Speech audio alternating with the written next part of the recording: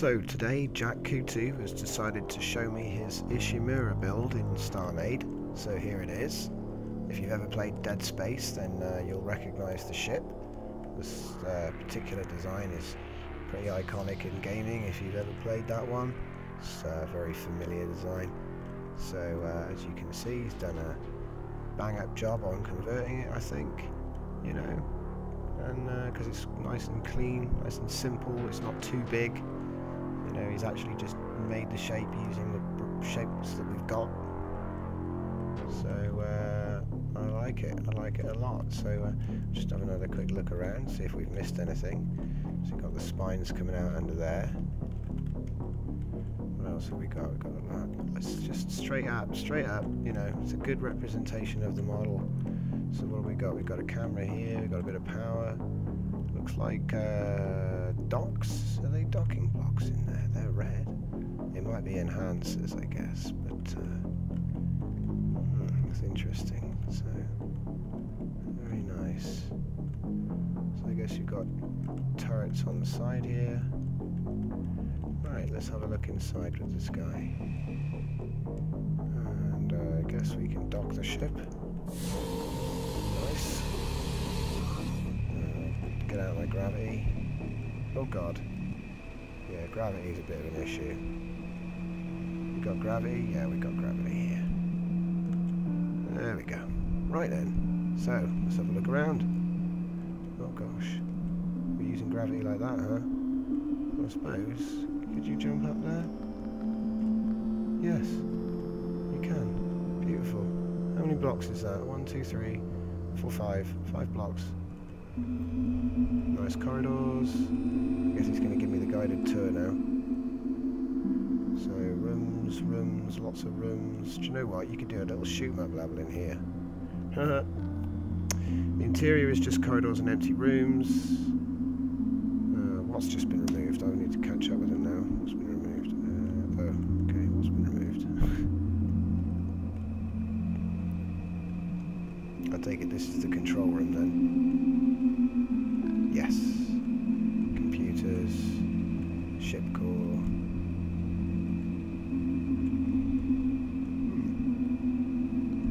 Going to build a reactor and a massive airlock to space, and he's done it all in survival. So, uh, every block came from a factory. Space in the next room. Right, let's go and check it out. He's got some more to show me. Whoa. Am I going down there? It's down there somewhere.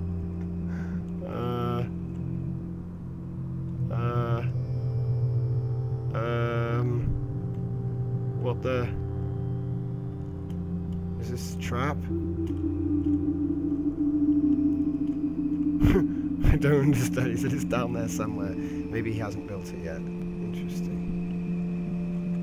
So, let's see. A couple of things I haven't been doing lately was this. So, the Ishimura is...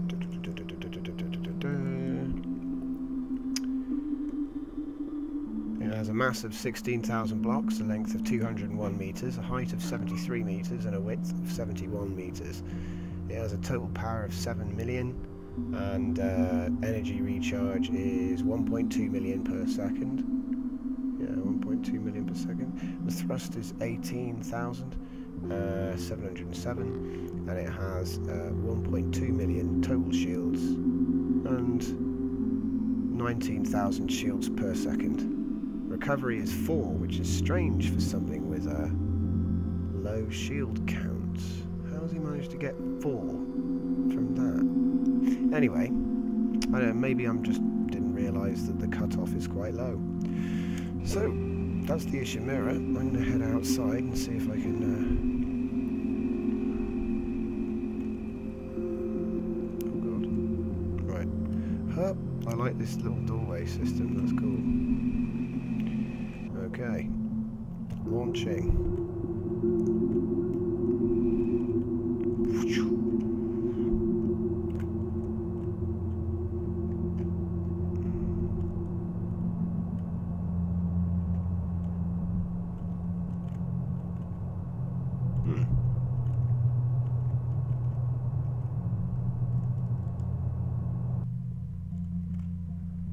One, two, three, four, five, six, seven.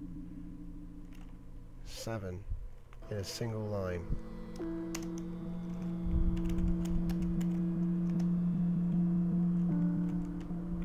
Here comes the second. So if that was seven, we can say 14. Mm, triplet ish. Maybe a little bit more. It's in a single line. That's good.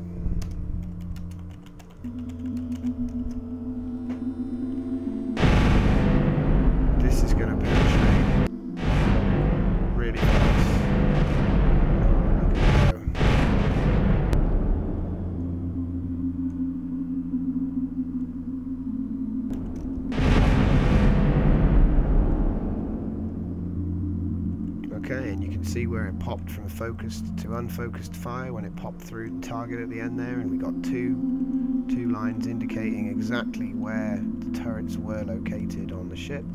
So we had two lines there and there, and two lines there and there. They're focusing in from the point of uh, ejection on his ship, straight forward. Way down. So yeah, so at first they were very narrow, but after a while, because the guns are mounted apart, they did get they made a wider wedge.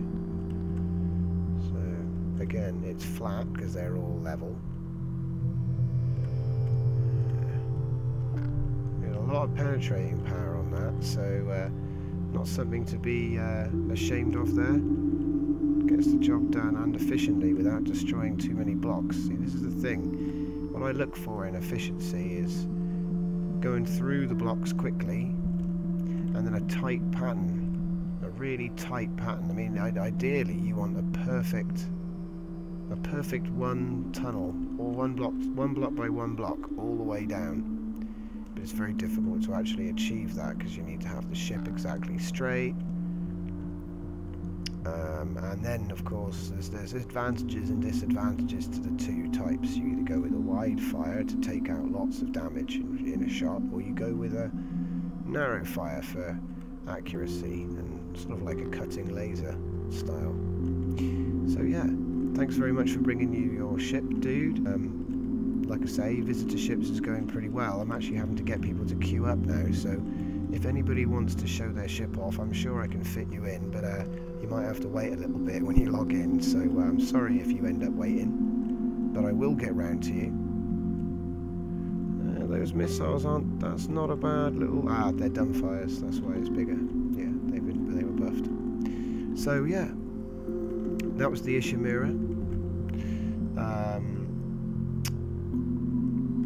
that was the Ishimura by uh, Jack Coutu.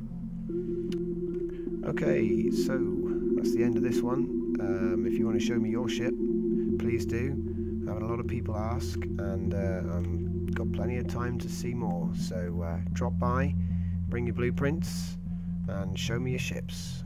Again, this is Mushroom Fleet. Thanks for watching, and come back soon. See you next time.